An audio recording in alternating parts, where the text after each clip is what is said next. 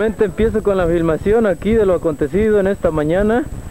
Tenemos la ayuda de estas jovencitas, de estas señoras que llegaron aquí a la casa de mis papás, que fue uno de los más afectados en cuanto a lodo y arena, porque también para allá perdieron animales, perdieron trastes, las casas se cuartearon y las bardas.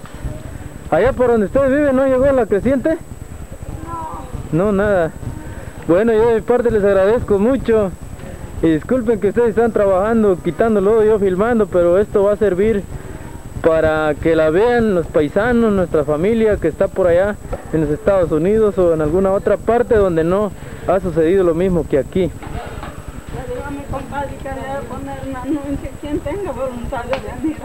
¿Verdad? Ahorita si nos hace el favor de ir ante mi compadre Docio, él le habla a sus familiares, compadres y amigos que quieran venir a ayudarle a quitar tierra, por favor. Es la iniciativa de la señora Vicenta, coordinadora de la pastoral social al sector de arriba aquí en Otlatepec. Unos pocos trastos que pudieron quedarse ahí porque solo se defendieron. Estoy enfocando a la señora Minero Zamora. Señito nos vino a ayudar también con mucho gusto.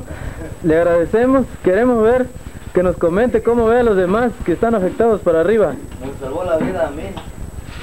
Está feo, traen para allá para arriba, y ¿Sí? auxilio, tengo. ¿Sí? A los medios parece que no, no, no tanto. Pues de mi parte, gracias por venir a ayudarnos. Este, Cheyo dice que estaban dormidos, que los vino a despertar. ¿Quién dice Cheyo? ¿Estaba hondo cuando se levantaron? No, la rodilla. En la rodilla. Ándale, pues voy a pasar ahí con Javier. Ahorita aquí llegué a la casa del señor Javier Jaime. Aquí en la caballeriza. Así te dejó a ver qué comentario me vas a hacer, Javier. Me estaba diciendo Cheyo que tú fuiste a hablarles allá. Mm, qué bueno, pues gracias por ir a avisarles y ayudarlos a salir del agua. Enfocando en la barranca del cobre hacia la casa donde vive el señor José Machuca. Allá aparece Pilla, que también milagrosamente salvó de esta creciente tan fuerte. Algunos dicen que hubo 20 meteoros o 20 piquetes en el cerro del cobre, que por eso se hizo así. No sabemos.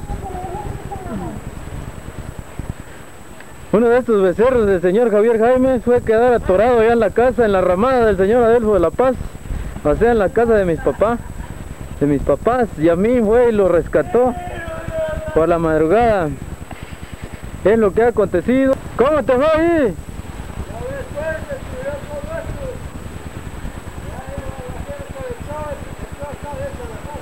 Estamos haciendo un comentario aquí con el señor José Machuca, que está del otro lado de la barranca. No se llevó nada de tus marranos, tus gallinas. Dos gallinas. Hay que buscarlas por ahí en la rueda abajo. La leña, el gas. El gas no. El tabique, sí. Todo. Nos vemos pues al rato por ahí, gracias. Platicar acerca de este acontecimiento tan desastroso en esta mañana.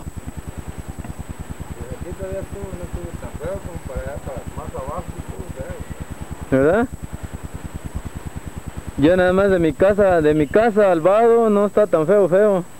Al puente vado que está ahí en Taufemio Alvarado, en la agencia de correos.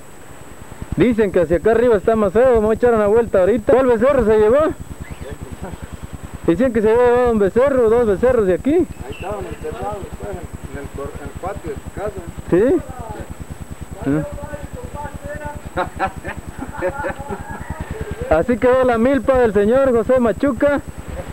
Se lo había vendido en versa el pasto aquí al señor Javier Jaime. Ahora ya no va a haber pasto. Se tiene que regresar el dinero. Estoy platicando con la señorita Yasmín Jaimes Bautista. Min, a ver, platícame cómo está eso que fuiste a levantar a mis papás porque no sentían. no sentía. ¿Y en qué los ayudaste? A ver, platícanos.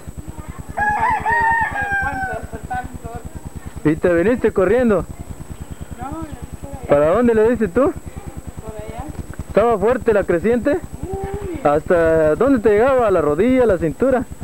Ah, casi a la cintura. Pues gracias por ir a despertarlos. Gracias por el almuerzo que nos invitaste. Vente a la tienda Cinco Hermanos, el propietario, aquí el maestro Rufino nos va a comentar a ver cómo ve aquí la, población, maestro. Pues es lamentable lo que acaba de suceder. Este, gracias a Dios a que no hubo pérdidas este, de, de personas, Ajá. hubo pura pérdida de material, pero aquí andamos. Se estima en muchos miles de pesos todo lo que se ha perdido, ¿verdad? Creo que sí, se estima en varias, porque muchas personas perdieron mucho, ya que entró el agua, el lodo a, su- a sus casas. Y pues ahorita andamos viendo a ver de qué manera podemos ayudar. Bueno, gracias. Aquí ya terminaron, hace un rato pasé, estaba lleno. Están trabajando aquí frente a la casa de Teófilo. Se tapó ese túnel. Voy a ver si puedo llegar allá para hacer un comentario. Aquí está la tienda Cinco Hermanos. La casa de mis papás también. Gracias, Chele. Pues nos vemos al rato. A platicar un poquito con el señor Teófilo de la Paz.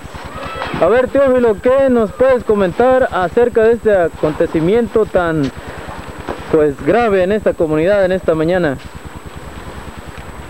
Amigo Walter, yo estoy este, ahorita bien agüitado sinceramente porque pues la de malas verdad, me tocó perder ahorita esta noche, creció mucho la barranca, se hundió aquí mi, mi bodega, Sí. la alcantarilla. Y mucho alimento material que se me, se me echó a perder, se me mojó la verdad. Ah, bueno, Se sí. metió el agua hasta allá a la cocina de mi mujer, mi niña está respantadísima. Ah. como- pues son casos de la vida, ¿verdad? Yo estoy de acuerdo, pero aunque sea este, con trabajos, porque la verdad, a fondo sí salen ganas de llorar porque son pérdidas de dinero. Bueno, Gilos, estoy contigo, todos estamos sintiendo todo. Y en la mañana te puedo comentar que por unos cartoncitos de zapatos viejos y ropa vieja y, y algunos útiles de cocina que se me habían mojado me sentía mal, pero yo no había visto para acá cómo nos trató ustedes. Tuvimos que salir bajo el agua, no podíamos atravesar de la casa de Baltazar Pérez a la mía por la corriente tan fuerte en la carretera o en el camino. Aquí los muchachos están echándole ganas. ¿Qué nos pueden decir ustedes, muchachos? Estos de la pala. Otra vez puedo hablar. A ver. Salió el agua, este, bajó algo de lodo, ¿verdad?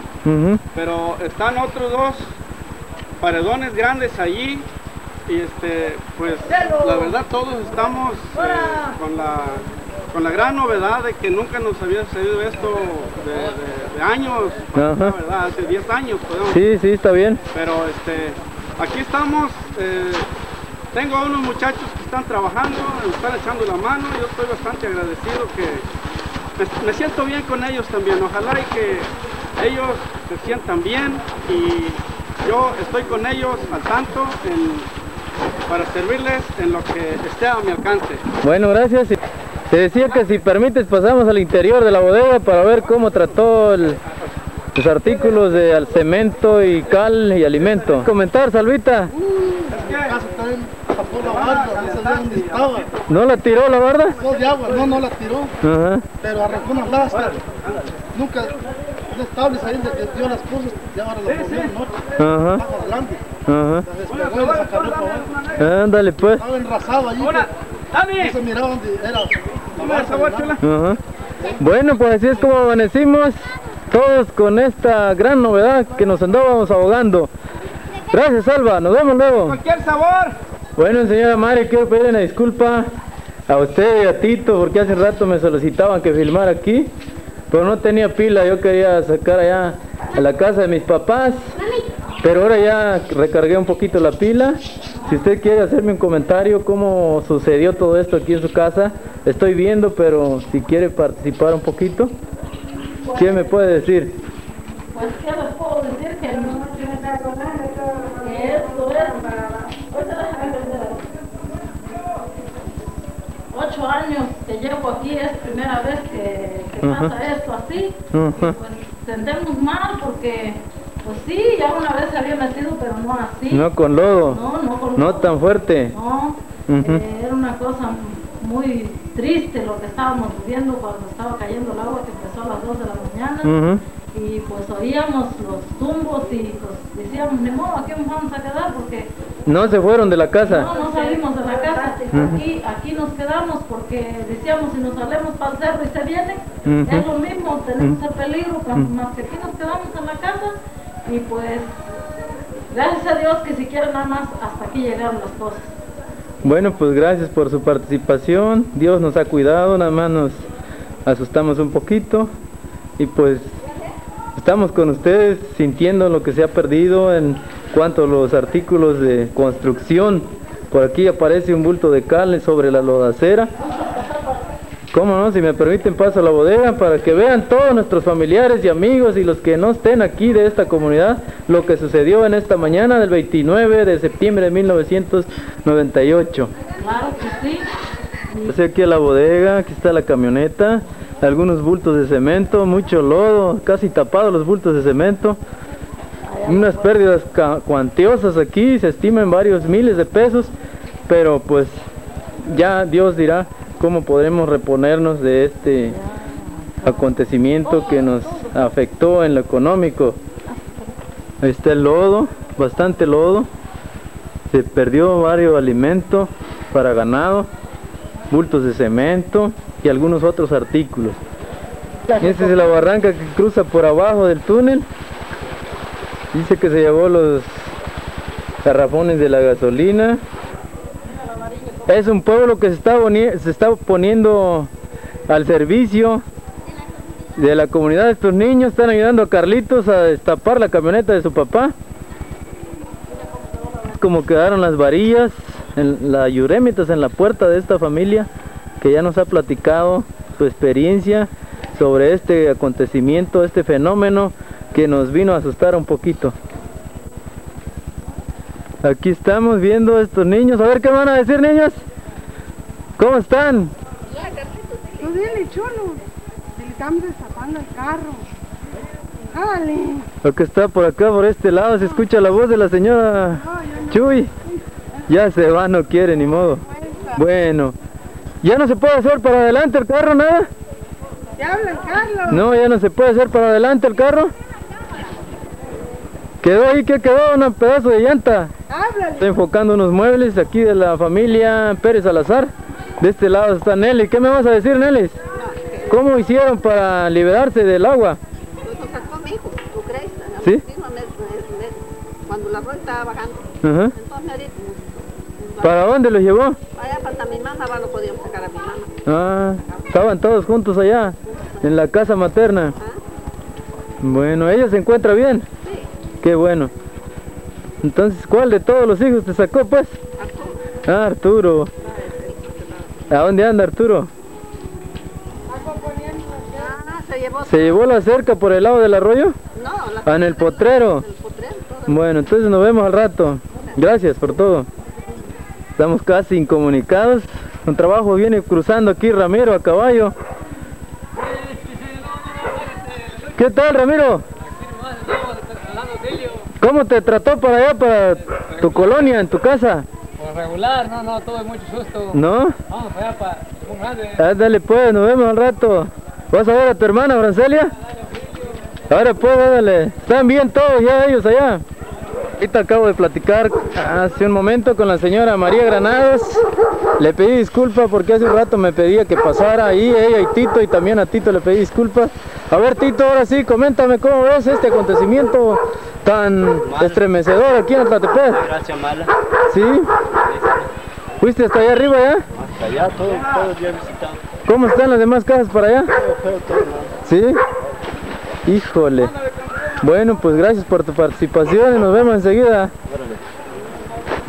Aquí tenemos gente de la comunidad de Limón Grande que han venido también a ayudar a Tlatepec. No sé muy bien su nombre, tal parece que este señor es el señor Guti, ¿verdad? ¿Qué tal? ¿Para allá no, no hizo feo? No, para allá no. Nada. Bueno, les agradecemos. ¿La milpa se la llevó? ¿Mucho? Un pedazo. ¿Era tuya? Don Pime, De Don Pime. La milpa de Pimenio Real. una parte de Primo González. De Primo González también. Eh, Pues gracias por venir a darnos su apoyo aquí. Dios les sabe premiar. Entonces voy a platicar con el señor Rodolfo Bautista, coordinador, vicecoordinador del sector de arriba. Se llevó las dos bombas y el pozo se lo acabó bien. ¿El de tu casa? Sí, el, mi, este, mi, mi pozo, de la, mi bomba del arroyo del pozo. ¿Se lo llevó? Bueno, ¿ustedes están bien, Rodo? Para allá los demás vecinos, ¿cómo están tus vecinos? Llenos de agua. Voy para allá ahorita, gracias por tu participación, nos vemos luego. Es un lugar donde han, se han reunido más vecinos y paisanos para ayudar al señor Teófilo. Como pueden ver, la arena que trajo el agua se la están devolviendo. ¡Teófilo! Ahora sí, como dijo el dicho, lo del agua al agua. La arena se va al agua, ¿eh? El agua lo trago, el agua se lo lleva. Nos vemos luego. Dice Teófilo que Dios aprieta, pero no ahorca. Señito, ¿cómo está para allá, para su colonia? Para allá quedó bien, solamente ahí llegó la reciente y grande, hasta allá la lomita, ya con subir para arriba hasta Rodolfo. Ya mero. Ya meritito nos llegaba para allá. ¿Ya fue a ver a su papá? Ya fui a verlo. ¿Cómo lo trató él ahí? Bien mal. ¿Sí? Ya la casa ya se le va a caer. ¿Cuarteó la casa? Bien cuarteada. A ver si paso a visitarlos. Ya Quiero ir allá. caer. ¿Sí? Allá está Pablo Navarro, por medio se le ahoga el burro, la, le arrastró todas las cosas, se le ahogaron este, gallinas y bueno, ¿Sí? hierro que está ahí. Ajá. Gracias por su participación.